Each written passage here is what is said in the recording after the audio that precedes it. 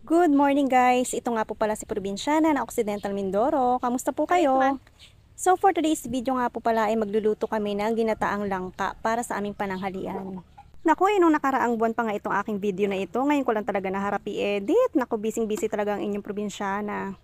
So ayun na nga, habang ako'y busy-busy magluto ng aming almusal itong aking mister, ay kumuha na pala ng langka na aming gugulayin. Feeling macho yan, char. Ang plano ko pa naman ay ako ang pipitas doon sa puno namin ng langka. Ay napakabilis talaga kumilos niyan eh. Ayan at siya na nga rin na magbabalat niyan. Masyado rin kasi madagta yan langka. Kapag hindi ka marunong magbalat ay tiyak na mapupuno ka ng dagta. At nilagyan niya nga muna ng stick bago niya balatan para meron siyang hawakan at hindi siya mapuno ng dagta. Naglagay na rin siya ng mantika sa kutsilyo pati na rin sa kanyang kamay para madaling alisin ang mga dagta. Bago ka nga talaga makakain ng masarap-sarap ay kailangan mo talagang paghirapan.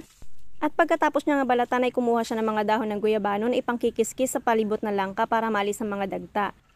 Minsan ang ginagamit namin ay dahon ng saging na pangalis ng dagta pero mas malapit kasi yung puno ng guyabano kaya guyabano na lang. At pagkatapos nga maalisan ng dagta ay agad niya na rin tinilad-tilad ang langka. Gusto ko dito yung medyo malalaki yung pagkakatilad. Yung iba kasi tinatadtad nila. Mas masarap din naman yung medyo may makakagat kang malaki-laki kaysa dun sa mga pinot talaga yung pagkakahiwa. Matrabaho din talaga ang paggugulay ng langka. Kailangan ay matyaga ka sa pagbalat, sa paghiwa, at sa pag-alis ng mga dagta sa iyong mga kamay. Ayan, ganyang klase lang yung gusto kong paghiwa ng langka. Yung iba naman, ang gusto nila ay yung hinihimay lang para buo pa yung buto niya. Pwede yun kapag murang-mura pa talaga yung langka. So ayan na guys, ako na nga nagkayod ng niyog dahil busy na si mister. Meron kasi kaming patrabaho ngayon, nagpapakabit kami ng electric motor. Para hindi na ako mahihirapan pa magdilig ng mga gulay kapag ganitong tag-araw. Kapag ganitong tag-araw kasi dito sa amin, ang hirap talagang magdilig ng mga gulay. Tapos yung poso namin, mahirap pang bombahin kapag ganitong tag-araw.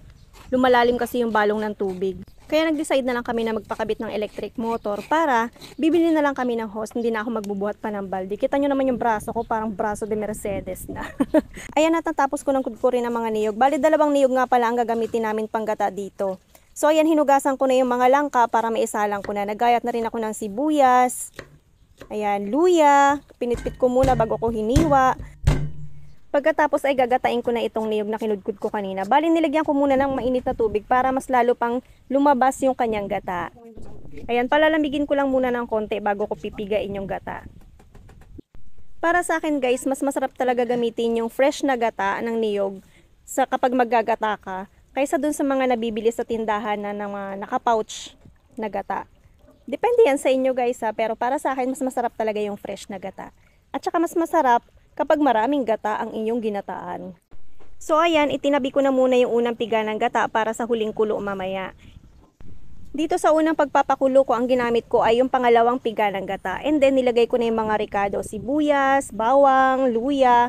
Pagkatapos nilagyan ko ng konting bagoong. Tapos pampalasa na vetchin. Vetchin is life. Ayan, pagkatapos ay isasalang ko na dito sa aking magandang kalan.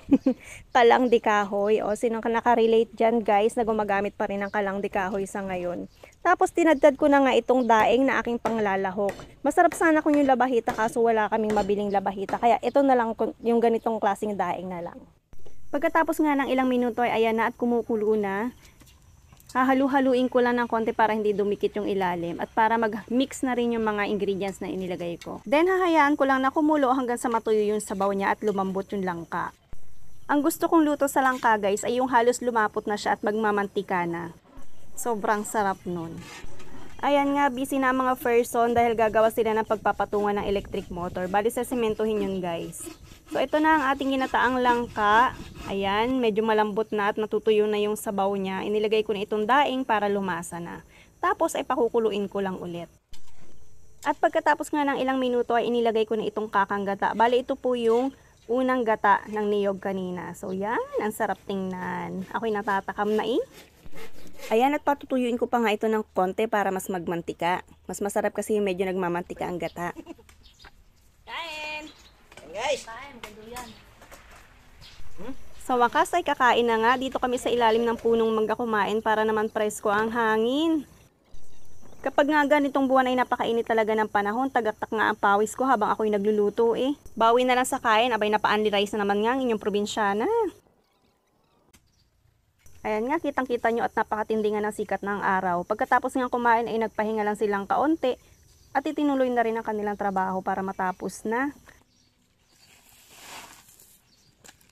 So, ayan nga po yung ginagawa nila. Gumagawa sila ng patungan ng electric motor. Yan. Bali sinisemento para mas matibay. Flex ko lang ang aming bayabas na napakaraming bunga na nagkakandalaglagat na. so, ayan. Naghahakot na sila ng semento na ilalagay doon sa loob ng formas. Para mas matibay yung ating patungan ng electric motor. Yan, shout out nga pala kay Nunoy na nag-istila ng mga yan at doon kay Kuya Jojo ba yun? Nakalimutan ko na ang pangalan. So, eto na, yari na ang kanilang ginawang patungan. So, yun lang for today's video. God bless!